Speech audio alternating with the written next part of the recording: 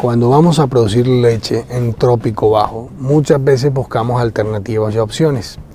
Hay una alternativa muy interesante que cada vez coge más fuerza y es utilizar estos animales que son cruzados de Gir por Holstein, mal llamados Girolandos porque son F1, también podrías llegar al 5 octavos, 3 octavos, que este sí sería la raza sintética real y sería el bien llamado Girolando, por decirlo así de alguna manera.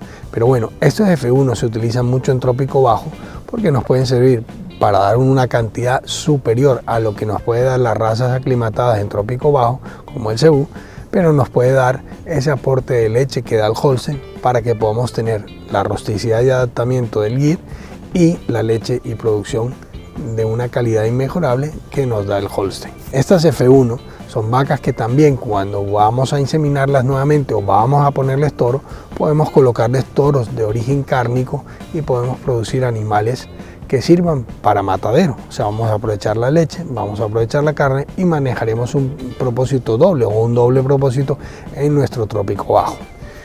Acomódate bien acomodado en esa silla y espero que disfrutes este programa. Bienvenido.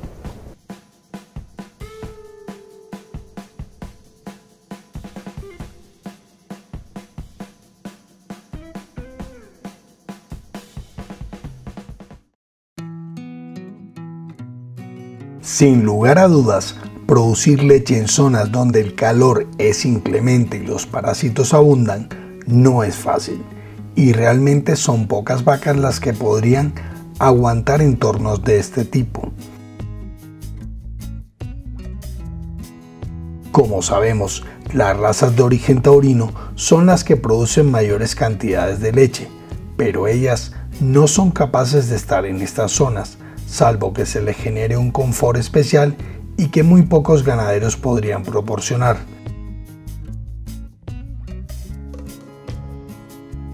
Así es que en Brasil en los años 40, preocupados con las bajas producciones de leche, empezaron a realizar un trabajo genético interesante, cruzando razas cebuinas que podían producir alguna cantidad de leche con razas taurinas de mucha producción.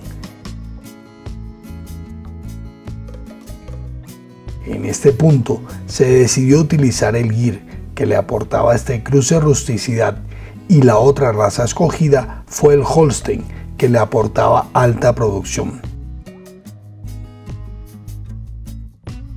Y se empezó a cruzar en diferentes proporciones ambas razas, llegando a la conclusión que el 5 octavos Holstein por 3 octavos Gir era la simbiosis perfecta entre ambas razas, dando como resultado una excelente raza productora de leche, que podía dar leche y también podía producir carne, ya que esos machos servirían perfectamente para este fin y en similares condiciones que otras razas cebuinas podrían dar una ganancia de peso similar, con lo cual se creaba una raza ideal, perfecta para producir leche en un clima que siempre había sido adverso para este fin, y que en este caso los machos no tenían que ser descartados como otras razas lecheras de origen taurino, sino que podían ser vendidos para cebar o hacerlo en la finca, generando así ingresos por ambas actividades.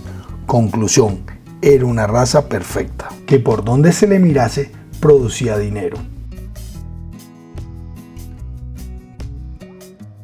Para que tengamos en cuenta algunas bondades importantes que hacen de esta raza hoy por hoy como una gran alternativa para mejorar la producción lechera en climas cálidos y todo esto gracias a su rusticidad, resistencia y adaptabilidad al clima tropical. Poseen la capacidad de autorregular su temperatura corporal, por eso son capaces de estar en los potreros cuando el sol está en su punto más alto, sin apenas inmutarse poseen también una gran conformación muscular y esquelética que permite que se puedan desplazar largas distancias sin problema alguno.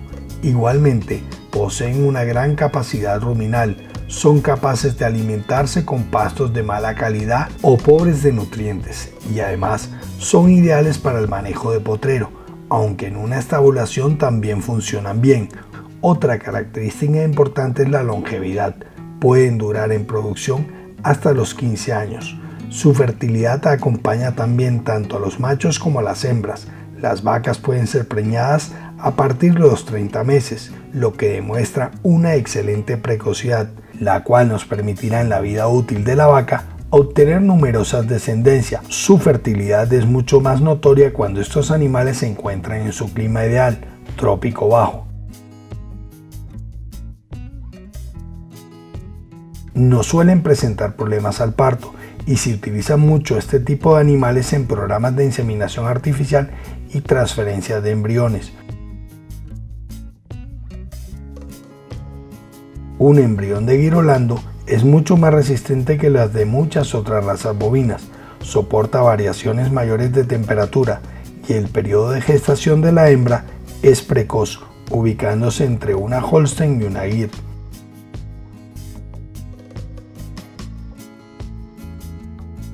Con un ganado girolando lograremos producir leche a un menor costo, ya que es realmente eficiente en el pastoreo y es capaz de aprovechar de excelente manera los forrajes de baja calidad y como bien sabemos, si tenemos un ganado que puede producir un litro de leche con pasturas, el costo del mismo siempre será más bajo, por lo tanto más rentable.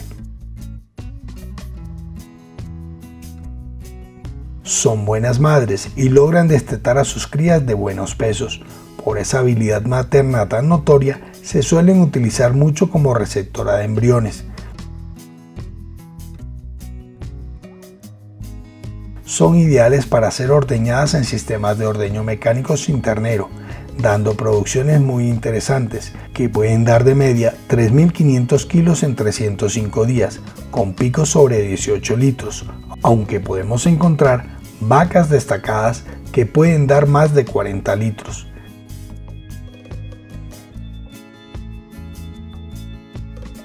En cuanto a los machos, en cebas confinadas pueden lograr un kilogramo día. La temperatura de su cuerpo está íntimamente relacionada con la regulación de la temperatura de la bolsa escrotal, proporcionando así una mayor producción de espermatozoides viables.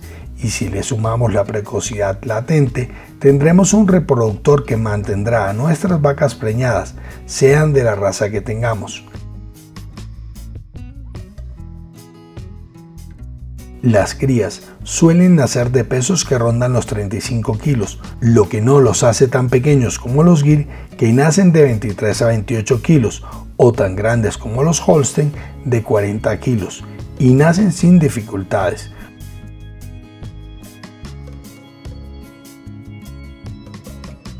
Normalmente el cruce más utilizado del girolando es el media sangre, que es comúnmente llamado Girolando, pero no lo es. Como ya dijimos, este nombre le corresponde al 5 octavos Holstein por 3 octavos Gir. Este cruce sí es una raza sintética y es el ideal al cual deberíamos llegar. El media sangre es eficiente en producción lechera, pero no lo es tanto como el 5 octavos, aunque es más común el uso del primero por lo fácil de fabricarlo Simplemente es utilizar una vaca Holstein y colocarle un toro Gir o viceversa y así tendremos un media sangre. Si quisiéramos llegar a producir el 5 octavos, solo debemos inseminar a esa hembra media con un toro 3 cuartos y el resultado sería un girolando real o puro.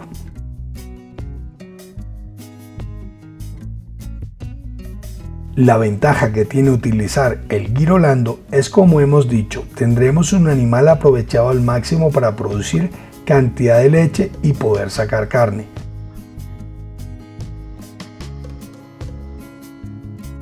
Me preguntarán si es lo mismo que cruzar el gir con otros taurinos, pues bien, si tenemos en cuenta que el Holstein es la raza que produce mayor volumen de leche en todo el mundo, tendría que decirles que no. Cualquier otro cruce con gir producirá leche y carne, pero con el Holstein la producción de leche siempre será mayor en el cruce.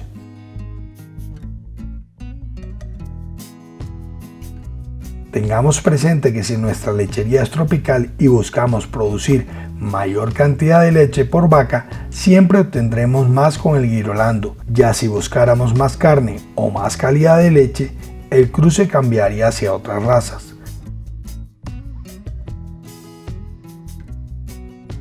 A día de hoy, esta raza girolando es una de las más utilizadas en países tropicales, por excelentes resultados que ha dado para producir volúmenes de leche.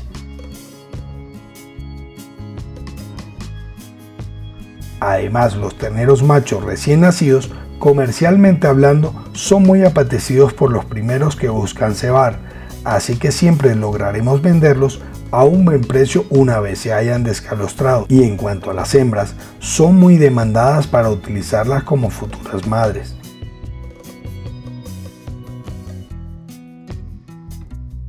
Tal es la demanda que puedes encontrar semen de todas las calidades y en diferentes cruces, 3 cuartos, 5 octavos, media sangre, tanto como nacionales como importados. Asimismo, los embriones se pueden vender rápidamente y a buenos precios. Por eso una gran parte de los criadores utiliza la genética para mejorar cada día sus atos y a la vez para producir animales que puedan venderse de forma fácil.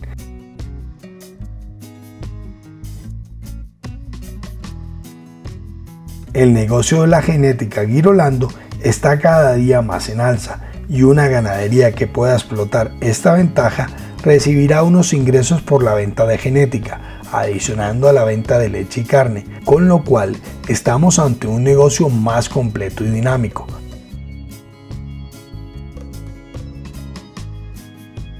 Los machos adultos pueden llegar a tener pesos promedio de 750 kilos a los 5 años y las hembras adultas a la misma edad 450 kilos. Por eso, determinamos que tenemos una raza mediana, con un cuerpo bien proporcionado y con una constitución robusta.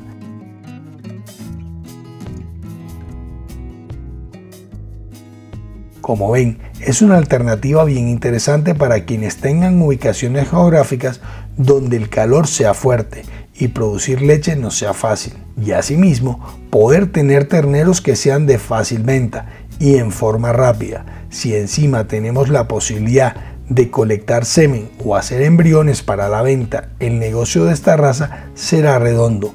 Podemos vender leche, carne y genética, tres opciones de negocio en un mismo animal.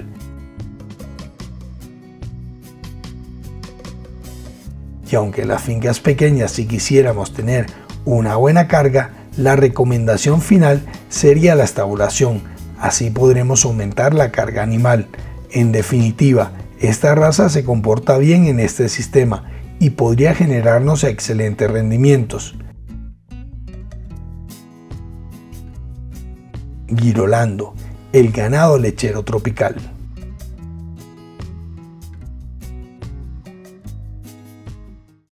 Bueno, otra opción más, raza Girolando, donde podemos manejar un doble propósito adaptado a trópico bajo que nos va a dar producción para leche y para carne. Si te ha gustado el programa, no olvides poner el like, visítanos en nuestras redes sociales buscando Hacienda La Verónica, ahí puedes colocar tus comentarios, tus sugerencias y todo lo que tengas que decir. Con mucho gusto estaremos pendientes de responderte lo más rápidamente posible. Espero que lo hayas disfrutado y que nos veamos en una próxima